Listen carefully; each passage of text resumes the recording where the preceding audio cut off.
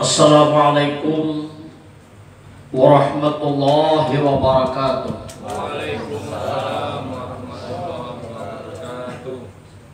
أعوذ بالله من الشيطان الرجيم. بسم الله الرحمن الرحيم.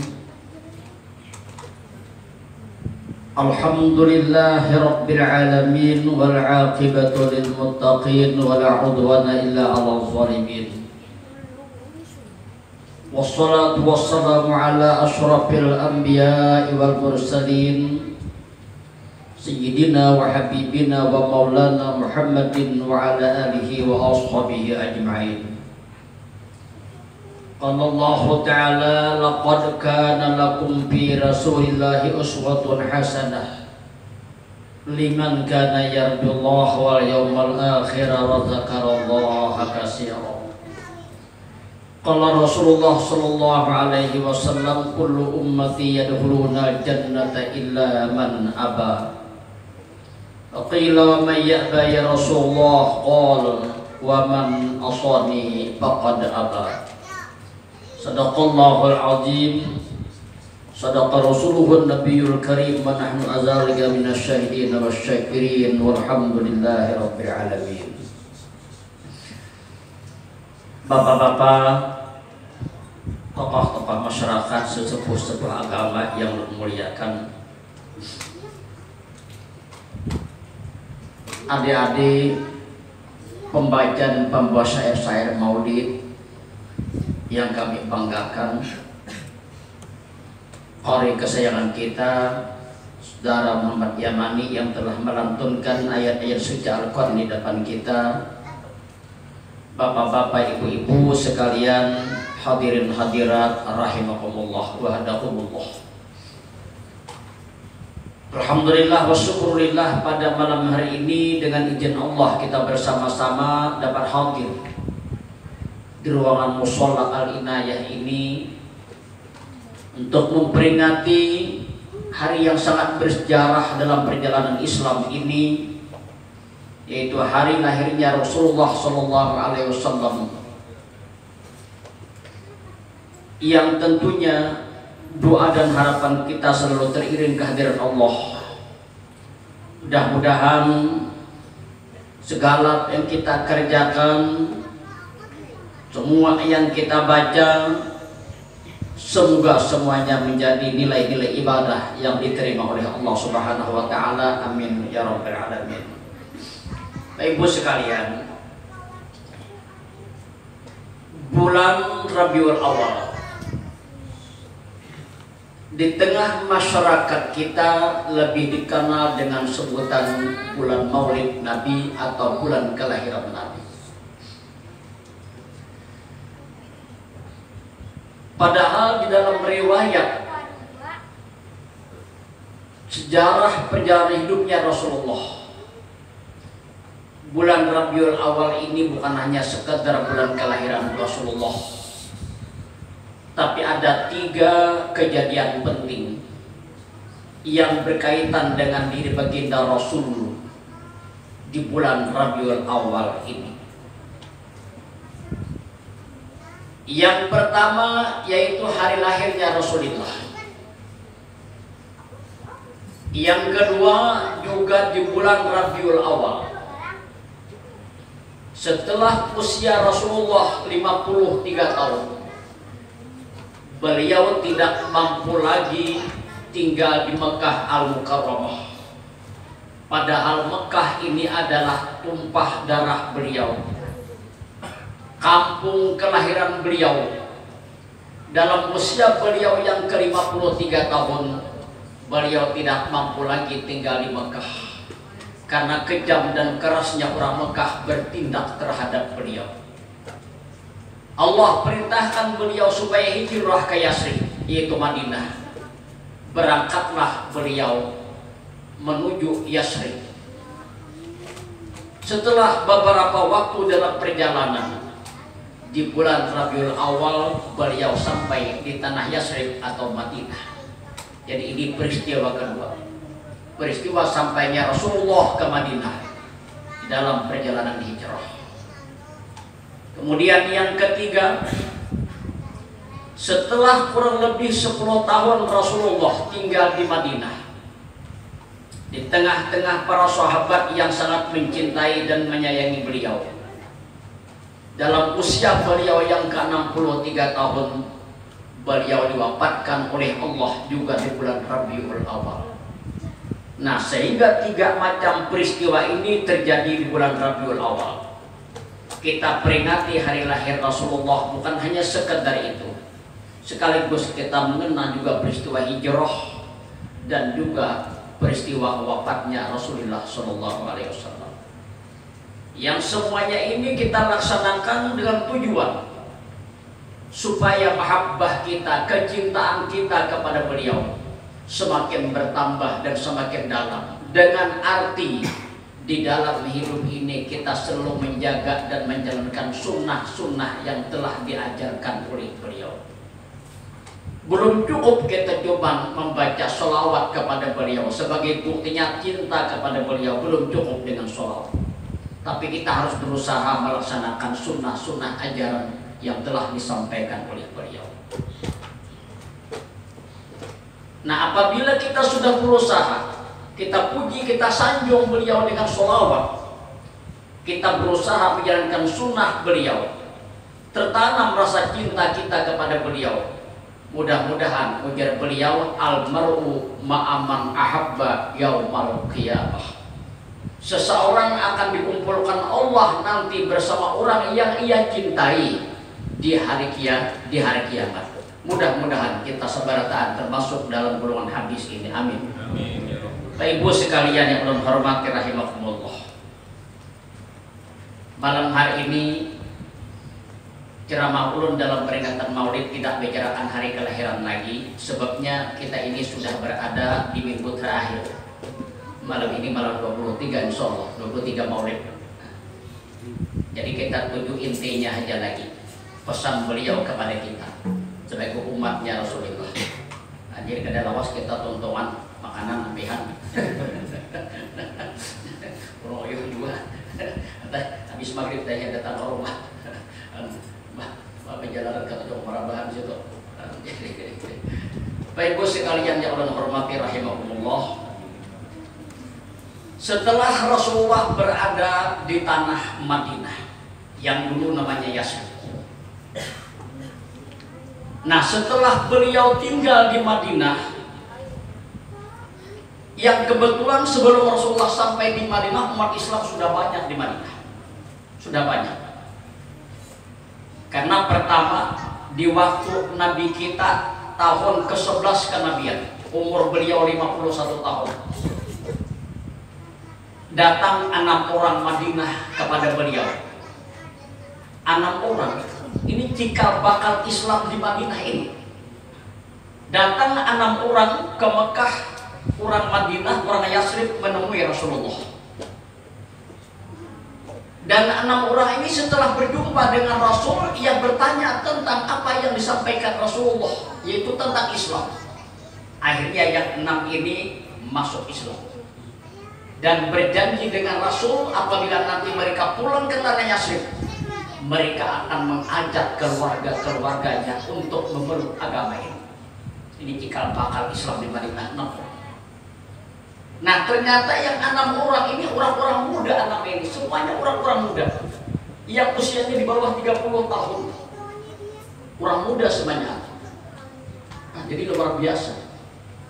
Karena Islam ini awal-awalnya itu ya banyak orang muda. Orang muda. Di sinilah kebersihan dakwah Rasulullah. Kenapa orang muda? Karena orang muda ini satu tak gagah, tak kuat, tak cakal, nah, wanian, cekatan. Nah ini orang muda. Makanya ujar Mustafa al-Walai Inna fi yadi sabdani khairal ummah wa fi aqdamihim hayatah di tangan pemuda lah urusan majunya suatu bangsa. Di tangan pemuda. Pada tangan pemuda lah urusan majunya suatu bangsa itu. Memang pemuda. Namun kita kita hari ini karena dia juga sudah liutan. sudah liut. Nah, jadi harus anak-anak muda yang gerak. Nah, jangan kakarami taros, simpan oyok sudah. Nah, ayo anak-anak muda. Karena kalianlah harapan orang-orang tua kami-kami saat ini untuk penerus perjuangan Islam ini di hari-hari yang akan datang. Dan anak muda ini cermin keadaan masa akan datang anak muda. Bila kita ingin melihat kayak apa masa akan datang, kita ini kayak apa? Lihat kayak apa tingkah laku anak mudanya saat ini. Nah ini. Bila anak mudanya beriman, beriman, soleh-soleh, insya Allah masa akan datang akan cerah, akan bagus, berakah. Tapi bila anak-anak mudanya, iya sudah, tujuh tilir-tiliran. nah iya sudah, masa akan datang suram. Nah jadi sebagai anak muda cermin masa akan datang. Potret masa depan bangsa itu anak muda. Nah jadi tahun ke-11 kenabian cuma enam orang datang ke Madinah semuanya beragama masuk Islam di depan Rasulullah dan berjanji untuk menyebarkan Islam kepada keluarga mereka apabila mereka pulang ke Islam. Ternyata berhasil dari perjuangan enam orang ini. Nah tahun berikutnya tahun ke-12 kenabian umur Rasulullah 52 tahun datang 12 orang dari Madinah 12 orang Nah 12 orang ini ketika temu dengan Rasulullah bicara-bicara akhirnya juga memeluk Islam berjanji lagi dengan Rasulullah akan mengembangkan Islam ini menyiarkan Islam ini di tanah Yasrib nanti. Dan tarikh itu disebut dengan Bayatul Aqabah Ula. Bayatul Aqabah Ula. 12 orang ternyata 12 orang ini juga anak-anak muda ini. Pulang ke Madinah berhasil lagi menyebarkan Islam Nah tahun berikutnya di saat Rasulullah 53 tahun 13 kenabian datang lagi 73 orang laki-laki dua orang perempuan. Islam mulai membesar di Madinah. Nah setelah banyak Islam dengan perjuangan orang-orang ini baru dalam usia 53 tahun ini Rasulullah mendapat perintah untuk datang hijrah ke Madinah. Atau Yasrib namanya berangkatlah Rasulullah ke Yasrib. Nah, di situlah sebelum Rasulullah berangkat, beliau juga menyuruh para sahabat-sahabat karena sudah merasa pedih banget rasanya tinggal di Mekah walaupun kampung halaman sendiri. Tapi sahabat Nabi sering disiksa, disakiti oleh orang-orang kafir Quraisy. Akhirnya Nabi menyuruh mereka supaya berangkat ke Madinah karena di Madinah sudah banyak saudara-saudara Islam itu. Nah berangkatlah. Secara sembunyi-sembunyi orang Mekah. Dari hari ke hari semakin banyak rumah yang kosong di Mekah. Dari hari semakin semakin banyak rumah yang kosong. Mereka hijrahnya diam-diam. Cuma hanya Umar aja nang terang-terangan. Nah, Sayyidina Umar ketika hari hijrah pengumuman sini. Ayo jar mas jar sini Umar. Siapa nak hendak bininya balu anaknya menjadi anak yatim tumbuh di jalan aku besok akan berangkat ke Madinah nah, tentang Sayyidina Umar bin Khattab orang lain sembunyi-sembunyi Nah Rasulullah menyuruh sahabatnya. Jadi sahabat-sahabat Nabi sudah banyak juga yang hijrah ke Madinah, ke Yasrib ini. Baru disusul oleh beliau atas perintah Allah tahun 53 dari kenabian atau 53 usia beliau. Tahun 13 kenabian. Nah mulai di situlah Islam semakin berkembang, Islam semakin membesar di tanah Madinah. Begitu sahabat mendengar Rasulullah hijrah, sahabat-sahabat yang di Mekah juga banyak yang menyusul. Dan orang-orang Mekah yang pindah ke Madinah ini disebut dengan kaum muhajirin. Orang yang hijrah, orang yang pindah. Nah, orang-orang Mekah ini orang yang pindah ke Madinah itu hanya membawa jadi sepuluh saja. harta benda ditinggalkan di mapa angkot bahkan angkot behemat ketahuan bukuannya dijaganya tengah jalan kan? jadi hanya jadi sepuluh berangkat ke Madinah ini demi kecintaan kepada Allah kepada Rasul untuk menyelamatkan iman Islam yang mereka miliki rela harta benda di tanah Mekah mereka tinggalkan. Mereka tinggalkan.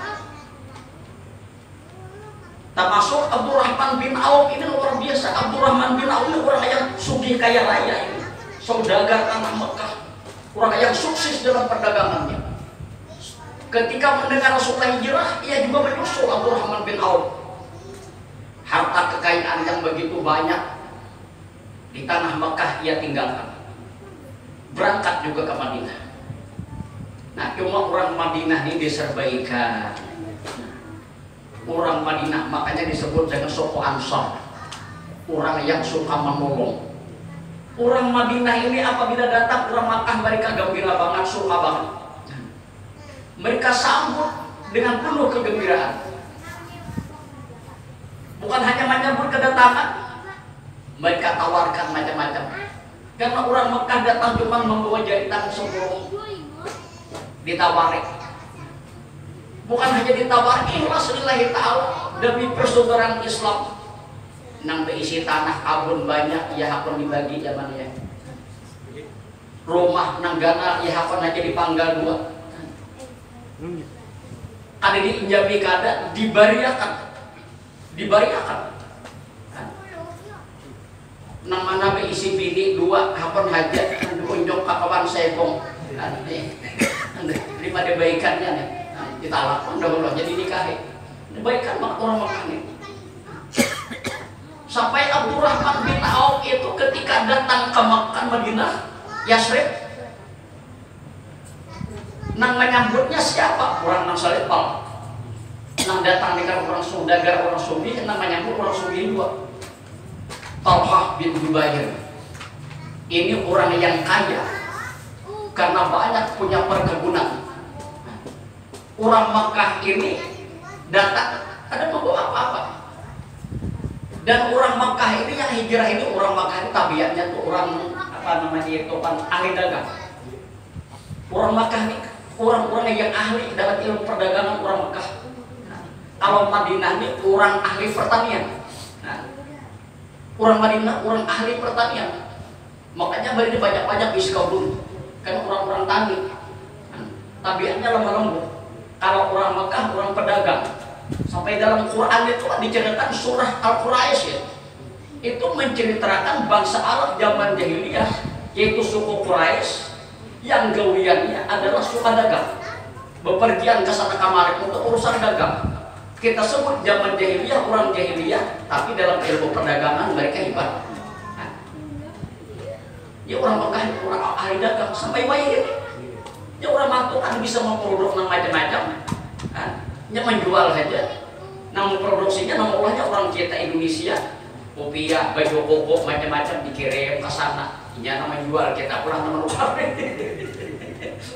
kan itu kita perlu lupa Padahal kita di Indonesia kopiah macam-macam baju koko macam-macam. Itu di mana? Kita sini. Dan ikan nama jualnya kita nama lupa aja ya orang makan aja ya? Ahli dagang. Kalau orang Madinah orang ahli tani Nah, Abdurrahman bin Auf ini ketika datang ke Madinah disambut oleh Tolhah bin Jubair, ditawari. Nah, ujar Talha dan sana. Ikam kalau anak bakabun pilih aja anakku banyak. Anak namanya Ikam pilih aja. Nah, rumahku anak namanya Ikam aku beberapa buah rumah fisik. Anak namanya pilih Ikam. Kada aku pinjami, kubariakan tanah mana pilih aja di sana kurma subur-subur Ujar Abdurrahman dan sana ada usaha ke mana wari aku macam-macam aku ini kan berarti bisa juga tani buat tanaman ini ada usaha kan? Aku minta tolong lawan ikam untuk aja tunjukkan pasar nang tarami di mana? Di Madinah nih pasar nang tarami nah, ini orang juga dagang ini pasti melihat pasar. Nah, tunjukkan saja. Nah ditunjukkan oleh Tollah bin Jubair pasar nah agak ramai itu namanya pasar orang-orang Yahudi yang disebut dengan pasar ribawi. Pasar ribawi apa? Pasar yang di sana banyak ribanya banyak ribanya jadi namanya pasar ribawi banyak ribanya di sana. Nah dia tunjukkan nah itu melihat pasarnya tidak rame terbuka pikirannya orang kali dagang itu melihat aja sudah masuk dalam pikiran wah ini rencana nih. Nah, akhirnya apa? Mulai jadi sales saja dulu. Sales untuk kan jualkan barang orang kan ada keuntungan sedikit. Nah dari waktu ke waktu semakin bertambah akhirnya membuka perdagangan tujuh bulan saja Abdurrahman bin Auf berdagang di pasar Ribawi tadi banyak toko-toko orang Yahudi yang tutupan. Kenapa? Kalau saingan kalau Abdurrahman bin Auf. Tiga bulan sini berdiam di Madinah. Padahal membawa jadi sepuluh aja, jarang ketemu Rasulullah karena sibuk berdagang. Nah, begitu baiklah lama Rasulullah, mak bawa harum ujar Nabi bawa pengantin. tiga bulan aja mendatang bawa pengantin dan Nabi. Sekalinya kenapa ada sebujur kalau Rasulullah kemarin menikah? Kenapa? tujuh bulan tiga bulan aja nah, kalau saya begini sudah nah, tujuh bulan berdagang banyak sudah punya duit nah, luar biasa nah jadi dua kekuatan ini orang Mekah ahli dagang orang Madinah ahli pertanian menyatu di Madinah ini nah di situlah Rasulullah mulai mempunyai kekuatan dalam dakwah Islamnya punya kekuatan. Nah, karena apa? Masalah perdagangan sudah dikuasai Sidin, pertanian sudah dikuasai Sidin, nah, ya sudah. Bila pertanian kalau kita kuasai, perdagangan kalau kuasai, kenapa makmur? Nah, itulah kekuatan Rasulullah. Makanya beliau berhasil di situ. Dalam jangka 10 tahun aja beliau tinggal di Madinah, beliau berhasil membangun sebuah negara yang disebut dengan negara Islam. Sehingga Yasrib namanya asal berubah menjadi Madinah ini kota kota Rasul kota yang dibangun oleh Rasulullah. Jadi cuma 10 tahun berdiri negara Islam yang berpusat di Madinah di Yasrib di bawah pimpinan Rasulullah. Jadi ketika Rasul sampai di Madinah bukan saja beliau sebagai seorang Rasul pemimpin agama sekaligus beliau menjadi pemimpin negara pemimpin negara. Karena dua kekuatan ini yang menumpang sehingga berhasil beliau mendirikan sebuah negara Islam ini. Karena kekuatan ekonomi sudah ada Islam. Nah, nah ahli dagang lawan ahli pertanian tak kumpul berdua ini sudah luar biasa kayak kita di Jakarta pertanian kita nah menguasainya dagang orang kita jaya bang nah, jadi pertanian kurang nama wasainya sawit kurang kita jadi buru nah, jadi buru ke umran nah ini. Nah, jadi ini. Di bapak anak makmur. Nah bapak ibu sekalian lalu setelah tak kumpul umat Islam di bawah binaan Rasulullah langsung makanya sahabat-sahabat nabinya adalah manusia yang luar biasa sebaik-baik zaman dan Nabi, sebaik-baik masa adalah masa di waktu kami. Karena sahabat Nabi ini manusia-manusia yang luar biasa. Karena di bawah bimbingan dan binaan langsung dari Rasulullah luar biasa. Usamah bin Zaid, Usamah bin Zaid, itu umur 18 tahun saja diangkat Rasulullah sebagai panglima dalam peperangan. Nah, kalau gampang, umur 18 tahun sanggup jadi panglima. Kita kenapa 18 tahun masih anak bang nih. nah, jadi panglima. Abdullah ibnu Abbas umur 15 tahun sudah menjadi staf ahli negara. Luar biasa karena binaan langsung dari Rasulullah. Luar biasa. Nah, Bapak Ibu sekalian, jadi setelah tak kumpul di sana umat Islam, Rasulullah sudah berhasil membangun sebuah negara yaitu negara Islam. Yasrib namanya berubah menjadi Madinatul Rasul, kota yang dibangun oleh Rasul. Inilah pusat pemerintahannya pada masa itu. Sehingga Islam di saat Rasulullah masih ada bukan saja berputar Mekah Madinah tapi sudah menembus ke negara-negara lain. Nah di situ Rasulullah berpesan berpesan kepada para sahabatnya pada satu ketika ketika Nabi berkumpul bersama sahabat-sahabatnya di tanah Madinah beliau menyampaikan pesan ini sudah agak di penghujungan usia beliau. Pesan ini walaupun beliau sampaikan kepada sahabat yang saat itu sebenarnya juga adalah untuk kita. Nah, pesan Rasul ini yang harus kita amalkan. Apa ajar Nabi? Yang pertama absus salam. Yang kedua wa'aqimul ji'an. Yang ketiga wawasilul arham. Yang keempat watayyibul kalam.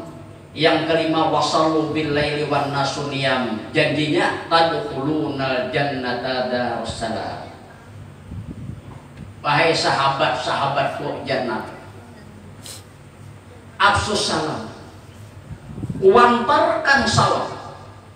Ini wasiat Rasul. Wantarkan salam, tebarkan salam Apa salah? Ya, pertama kita tebarkan dengan ucapan pertama. Sehingga kita umat Islam saling doa mendoakan di kala bertemu Assalamualaikum. Selamat sejahtera untuk kamu. Nak mendengar doa Waalaikumsalam. Selamat sejahtera untuk kamu. Ada terbatas dengan waktu kapan saja. Selamat sejahtera untuk kamu Jadi kita istilahnya jangan diubah-ubah. Assalamualaikum. Jangan diubah-ubah. Ini tanda kita. Ucapan salam inilah doa yang tidak terbatas dengan waktu. Apa aja? Mohon maaf lah. Kalau kita selamat sore kita. Ya sore aja. Nah, nah jadi kalau assalamualaikum, saling bersaudara kamu. Baik sore, apa pagi, apa malam, apa siang Lantarkan dengan ucapan. Salam adalah doa mendoakan. Di saat bertemu, Assalamualaikum. Masuk ke rumah orang kita minta izin, Assalamualaikum. Anak berangkat, Assalamualaikum. Sampai Nabi menyuruh kita rumah seorang barang nih. Datang kita ke rumah seorang. Kosong lagi rumahnya. Ya Nabi menyuruh ucapan salam. Pada rumah siapa dia Nabi bisa salami Walaupun rumah kosong rumah kita, begitu kita masuk dianjurkan assalamualaikum. Siapa tahu dari rumah kita ada para malaikat? Siapa tahu? Atau ada jin-jin Islam di rumah kita kan? Ini ucapkan salam assalamualaikum. Rumah yang sering diucapkan salam di situ, rumah ini akan mendapat borok, barakah dari Allah. Anak berangkat kita, assalamualaikum. Jangan dadah jangan berangkat. Assalamualaikum. Aja nih assalamualaikum. Nah, kita dahulu supaya anak-anak kita cucu kita akan tahu ini oh kayak Jepang kayak gimana berangkat assalamualaikum. Akhirnya tahu berangkat assalamualaikum. ya, ya, itu juga nah. Jadi pantarkan ucapan salam dengan ucapan pertama. Ketika kita bertemu assalamualaikum. Terkadang SMS pun assalamualaikum dahulu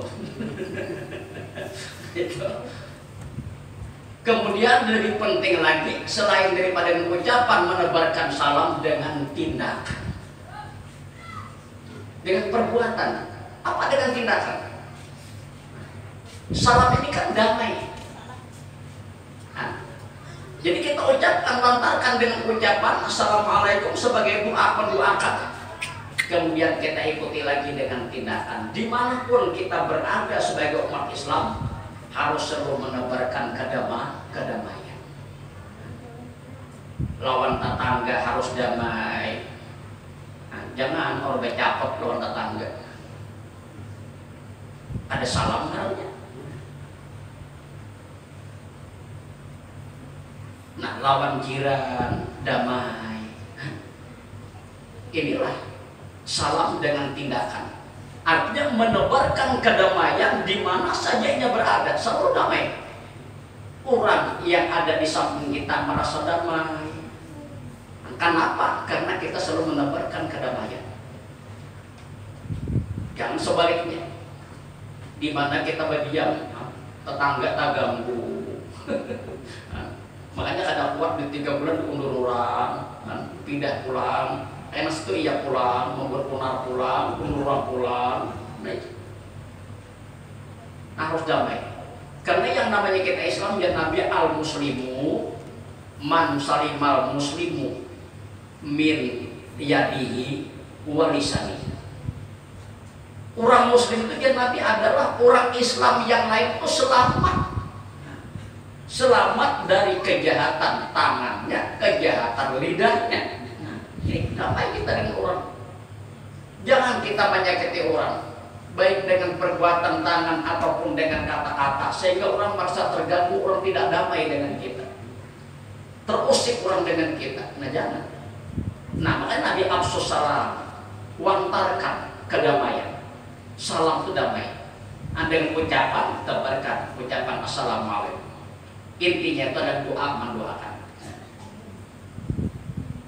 Ketika kita masuk assalamualaikum. Bila kita baik-baik masuk kurang berempat berlima cukup memberi salam yang pertama aja assalamualaikum. Yang di belakang kan usah lagi memberi salam dapat pahala sudah. Kalau masuk aja sepuluh saya kok masuk assalamualaikum. Saya kok masuk assalamualaikum. Ada jawaban orang bila kita beriringan masuk kurang sepuluh yang pertama beri salam yang di belakang kan usah lagi sudah mendapat nilai pahala memberi salam. Nah, itu. Nah, kemudian dengan tindakan tadi, dengan tindakan artinya di mana saja kita berada, di mana kita tinggal, di mana kita berdiam, kita harus damai dengan tetangga-tetangga kita. Karena jangan orang Islam adalah orang yang selamat Islam lainnya itu daripada kejahatan tangannya dan lidah lidahnya. Nah ini Nah, menjaga tetangga harus tahu, kita harus paham. Apalagi dinding dalam begagit, dan bahasa soal begagit banturan. Bisa pak paham pak ya? Ini hanya datang. Salo demu ya kan dabung-dabung sanyareng-nyarengnya.